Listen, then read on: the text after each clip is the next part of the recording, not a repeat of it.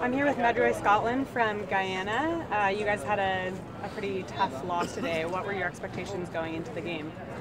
Well, our expectations was high. We were expecting to at least win this game today. But basically, um, even though we had a system, we tried a system, but our system didn't work and nothing different for us, but there's nothing that we can do, so that's it.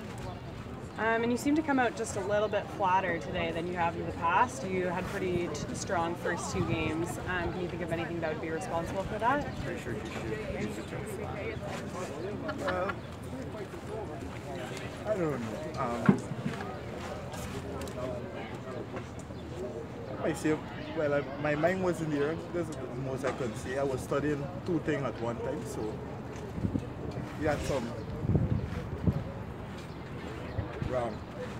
As I may say, we had some wrong blows, but there's nothing you can do to see not everything the ref can see, so you can't blame the ref for what he didn't see.